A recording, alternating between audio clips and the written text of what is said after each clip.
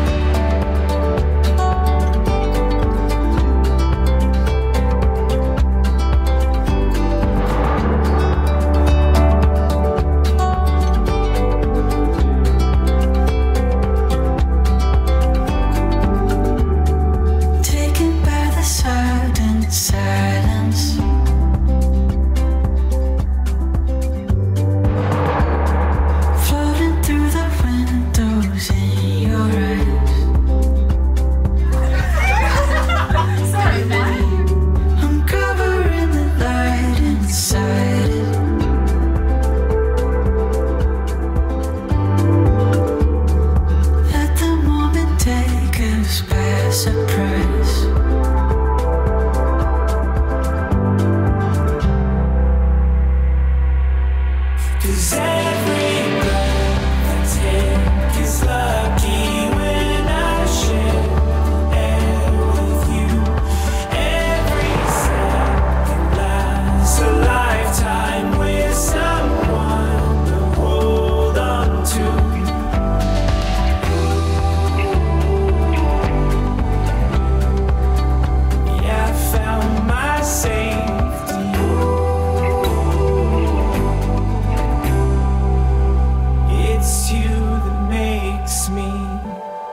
笑,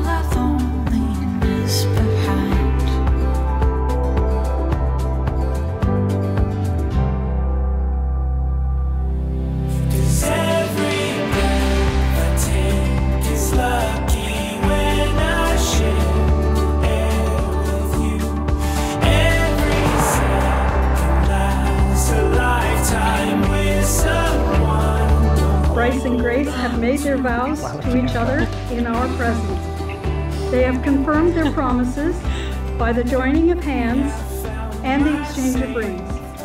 Therefore, by the authority given me by the province of Ontario, I now pronounce that they are husband and wife.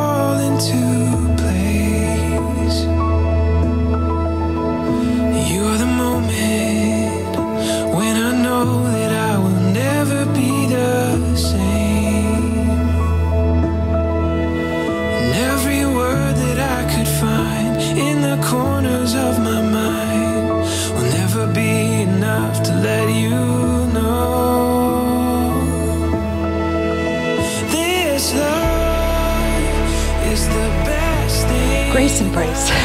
Marriage is a thousand little things. It's giving up your right to be right and heat of an argument.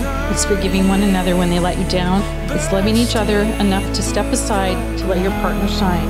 It's being a cheerleader and a confidant. It's being a place of forgiveness that welcomes you home. It's having arms you can run to in the midst of a storm. It's a soft place to fall. Always remember this day, your vows, and the feelings of butterflies in your stomach. Cherish these memories in your heart. I love you both. You're the best thing I When we were younger, Dad used to tell us if we were ever working with anybody else, we better be the hardest working ones there. and that Bryce was. And finally, we only have one piece of advice to Bryce. Bryce, we know you have only experienced one boss in your life.